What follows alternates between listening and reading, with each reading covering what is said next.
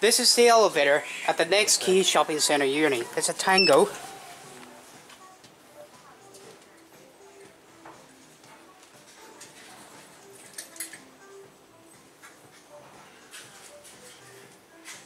Here it is, zero.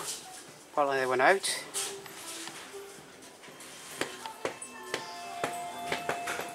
It's got the advertising on the left. It's got to one. Capacity is 60 on the kilos, 21 persons, built to 2017. Four years ago. Here we are at one.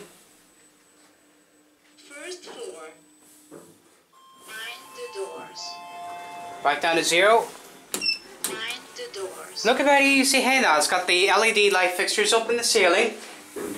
Tecno logo. It's got the indicator floor directory on the right.